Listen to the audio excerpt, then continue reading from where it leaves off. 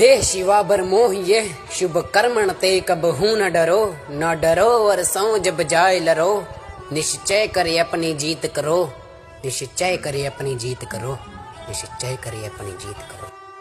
ਉਹ ਅੱਜ ਮਿੱਤਰੋ ਮੈਂ ਤੁਹਾਨੂੰ ਗੱਲ ਸੁਣਾਉਣਾ ਗੱਲ ਸੁਣਾਉਣਾ ਗੁਰੂ ਦੇ ਲਾਲਾਂ ਦੀ, ਗੱਲ ਅੱਜ ਦੀ ਨਹੀਂ ਆ ਮਿੱਤਰੋ ਇਹ, ਗੱਲ ਬੜੇ ਆ ਮਿੱਤਰੋ ਸਾਲਾਂ ਦੀ। ਉਹ ਗੁਰੂ ਗੋਬਿੰਦ ਸਿੰਘ ਜੀ ਦੇ ਲਾਲ ਸੀ ਉਹ, ਨਾ ਖੇਡਦੇ ਕਦੇ ਵੀ ਚਾਲ ਸੀ ਉਹ। ਉਹ ਬੈਠੇ ਦਾਦੀ ਮਾਂ ਨਾਲ ਠੰਡੇ ਬੁਰਜ ਵਿੱਚ। ਹੌਸਲਾ ਦਾਦੀ ਮਾਂ ਨੂੰ ਹੀ ਦਿੰਦੇ ਸੀ। ਸੁਣੋ ਦਾਦੀ ਜੀ, ਕੁਝ ਹੋ ਨਹੀਂ ਸਕਦਾ ਸਾਨੂੰ। ਇਹ ਕਹਿ ਕੇ ਇੱਕ ਦੂਜੇ ਵੱਲ ਵੇਂਦੇ ਸੀ। ਉਹ ਕਿੰਨਾ ਜਿਗਰਾ ਦਾਦੀ ਮਾਂ ਦਾ ਵੀ। ਪਤਾ ਹੁੰਦੇ ਸਾਰ ਵੀ ਗੱਲ ਨੂੰ ਟਾਲੀ ਜਾਂਦੀ ਆ। ਉਹ ਹੱਥ ਸਿਰ ਤੇ ਰੱਖ ਕੇ ਬੱਚਿਆਂ ਦੇ। ਕਹੇ ਕੁਝ ਨਹੀਂ ਹੋ ਸਕਦਾ। ਨਾਲੇ ਅਥਰੂ ਮੱਠੇ ਮੱਠੇ ਵਹਾਈ ਜਾਂਦੀ ਆ। ਉਹ ਫਿਰ ਕੁਝ ਚਿਰਾਂ ਮਗਰੋਂ ਸੁਨਾ ਆਇਆ। ਸੁਨਾ ਆਇਆ ਕਚਹਿਰੀਆਂ ਸੂਬੇ ਦਾ। ਉਹ ਫਿਰ ਐਸਾ ਬੱਚਿਆਂ ਨੇ ਹੰਕਾਰ ਤੋੜਿਆ। ਹੰਕਾਰ ਤੋੜਿਆ, ਹੰਕਾਰ ਚ ਡੁੱਬੇ ਦਾ ਉਹ ਕਬੂਲ ਕਰ ਲੋ ਕਹਿੰਦਾ ਤੁਸੀਂ ਧਰਮ ਸਾਡਾ। ਇਹ ਕਹਿੰਦਾ ਸੂਬਾ ਸਾਹਿਬ ਜਾਦਿਆਂ ਨੂੰ। ਉਹ ਦੇ ਕੇ ਮੌਤ ਦਾ ਡਰਾਵਾ ਵੀ ਦੇਖਿਆ ਸੀ। ਕਿੱਥੋਂ ਖਸਕਾ ਲੈਂਦਾ ਸੂਬਾ ਸਾਹਿਬ ਜਾਦਿਆਂ ਨੂੰ।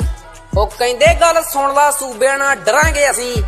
ਨਾ ਸੀਸ ਝੁਕਾਏ ਤੇਰੇ ਅੱਗੇ ਕਰਾਂਗੇ ਅਸੀਂ। ਉਹ ਨਾ ਸਾਨੂੰ ਨਾ ਜ਼ਿਆਦਾ ਗਿਆਨ ਦੇ। ਪੜਦਾ ਹਟ ਜੂਗਾ ਪਿਆ ਤੇਰੀ ਮਾਤੀ ਉੱਤੇ। ਯਰਾ ਦਸ਼ਮ ਪਿਤਾ ਗੁਰੂ ਗੋਬਿੰਦ ਸਿੰਘ ਜੀ ਵੱਲ ਤਾ ਗੁਰੂ ਗੋਬਿੰਦ ਸਿੰਘ ਜੀ ਵੱਲ। ਧਿਆਨ ਦੇ, ਉਹ ਗੱਲ ਸੁਣ ਕੇ ਛੋਟੇ ਬੱਚਿਆਂ ਦੀ ਆਪਣੀ ਜਗ੍ਹਾ ਤੇ ਉਹ ਥੰਮ ਗਿਆ।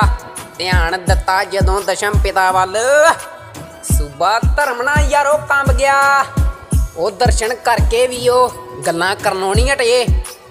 ਸੂਬਾ ਸਾਹਿਬ ਜਾਦਿਆਂ ਨੂੰ ਪੁਰੀ ਜੀ ਵਟੇ ਕਹਿੰਦਾ, ਰਲ ਜੋ, ਨਾਲ ਤੁਹਾਨੂੰ ਰੱਖਾਂ ਗਿਣੀਆਂ ਮ ਆ ਗੱਲਾਂ ਸੁਣ ਕੇ ਸਿੰਘਾਂ ਦੀਆਂ ਅੱਖਾਂ ਗਈਆਂ ਖੁੱਲ ਸਭ ਕੁਝ ਗਏ ਭੁੱਲ। ਸੂਰਮੇ ਕਹਿੰਦੇ ਅਸੀਂ ਉਹ ਜਿਨ੍ਹਾਂ ਨੂੰ ਦਾਦੀ ਦੀ ਮਿਲੀ ਗੁੜਤੀ ਆ। ਅਸੀਂ ਉਹ ਜਿਨ੍ਹਾਂ ਵਿੱਚ ਬੇਅੰਤ ਫੁਰਤੀ ਆ। ਅਸੀਂ ਦਸਵੰਤ ਪਿਤਾ ਦੇ ਜਾਏ ਆ, ਚਣਵਾਏ ਗਏ ਨੀਹਾਂ 'ਚ, ਪਰ ਸੀਸ ਨਹੀਂ ਝੁਕਾਏ ਆ। ਬੇਅੰਤ ਦਲੇਰ ਸੀ ਭਾਵੇਂ 7 ਸਾਲ ਦੇ ਸੀ ਬੱਚੇ। ਨਿੱਕੇ ਨਿੱਕੇ ਹੱਥ, ਨਾਲੇ ਮਾਸ ਵੀ ਸੀ ਕੱਚੇ। ਬੱਚਿਆਂ ਤੇ ਦੁਸ਼ਮਣਾਂ ਨੇ ਕੀਤਾ ਨਹੀਂ ਸੀ ਕਹਿਰ ਉਹ ਬਸ ਉਦੋਂ ਤੋਂ ਹੀ ਸਿੰਘਾਂ ਪੈ ਗਿਆ ਸੀ ਵੈਰ। ਬੋਲੇ।